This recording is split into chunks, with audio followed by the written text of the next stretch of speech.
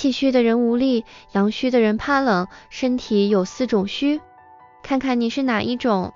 由于经常熬夜、久坐、吹空调等等，现代人的小毛病一点也不少。明明按时休息，总感到四肢无力，走路十分钟，没一会就气喘吁吁，一年四季都手脚冰凉，甚至是怕冷，说话有气无力，身体出汗多。现代人时人有九虚。这些小毛病往往与虚有关，等时间一长，全身会感到不适，压力增大，可能影响日常的生活。体虚有四种，分别是气虚、血虚、阳虚、阴虚，它们与我们的五脏相对应，如肾虚、脾胃虚等等。那么你是属于哪种虚？应该怎样调理？一、气虚容易疲倦。气虚好比人体的燃料不足，便会导致动力不足，人在平时的工作、学习中失去活力，做什么都觉得有心无力。气虚大致包括三个方面的虚：肾虚、脾虚、肺虚。特征一、气虚者平时少言懒语，不爱说话，多说两句话也觉得累，说话气不足。二、腹胀，消化能力差，摄入食物易引起腹胀。表现为常打嗝，甚至是反胃、想吐。三、舌头有齿痕、舌苔厚等都是气虚的表现，原因是体内的湿气没有及时排出。四、身子弱、体力差，站着或坐着时总想找东西靠一靠，爬楼梯、走路气喘吁吁。四、气虚者怕冷，动不动就感冒、打喷嚏，尤其是小孩子。推荐山药薏米芡实粥，做法。薏米和芡实洗净后浸泡两小时，大米洗净后用清水浸泡半小时，山药去皮切片备用。将薏米、芡实放入锅中，倒入清水，大火煮开，调小火煮三十分钟，再倒入大米，用小火煮二十分钟。山药放入锅中煮十分钟即可。推荐西洋参枸杞鸽子汤。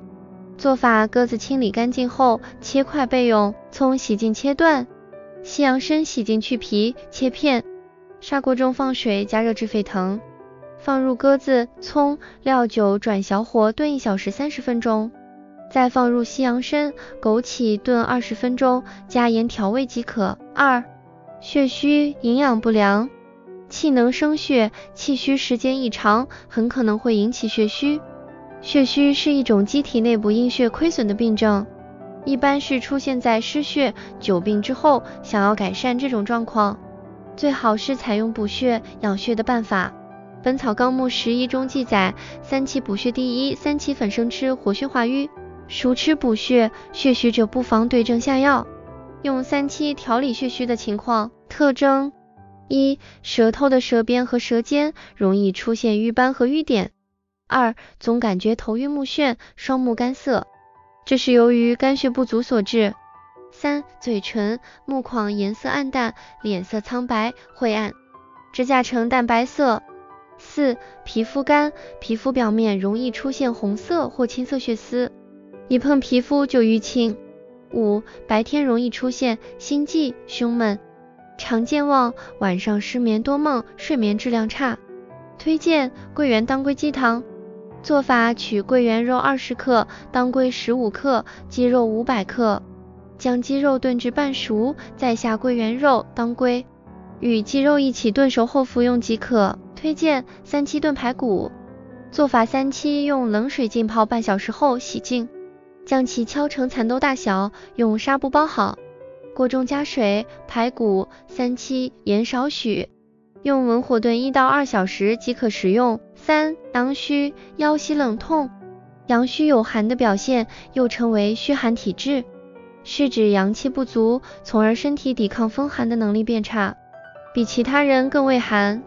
经常吃寒凉食物，性生活过度，以及年龄增大等因素，也会导致阳虚体质。而阳虚一般表现在脾肾上，会出现腰膝冷痛等症状。特征一、男性易阳痿、早泄、性欲减退；二、女性月经减少、情绪低落，出现宫寒不适；三、怕冷、怕风、手脚冰凉，吃凉食或吹冷风易腹泻。四、舌头肥大，呈现淡白色，面色发白，体型偏瘦。五、运动时容易心慌、气短。推荐冬虫草炖老鸭做法：将鸭处理干净，放入沸水中烫一会，捞出备用。将洗净的核桃、栗子放入鸭腹内，锅中放入准备好的鸭，再加水、黄酒、清水、姜，隔水炖蒸两个小时，最后加盐即可。推荐当归羊肉羹。做法：羊肉去膻味，切片；姜切片，葱切葱花。将羊肉片、姜、葱、当归一同放进锅中，加适量的水，放入盐后拌匀，煲二到三小时。将当归、姜、葱从汤中捞出，留下羊肉片，继续烧沸，加水和面粉进行搅拌，面粉糊煮熟即可。四、阴虚上火燥热，阴虚又称阴虚火旺，是体内虚火引起的燥热，最常见是肺阴虚、肾阴虚。一般来说，女性最怕阴虚，因为阴虚会导致长痘、皮肤变差等，容易令人变丑。因此，阴虚者要少吃上火的食物，注意多喝水，保证充足的睡眠，并且保持情绪稳定。特征：一、口干咽燥，总是想喝水，喜欢吃上火的食物，导致咽喉疼痛。二、小便的尿液偏黄，还会有便秘、排便不畅的表现。三、怕热，手心脚心发热，出汗多，特别爱喝冷饮。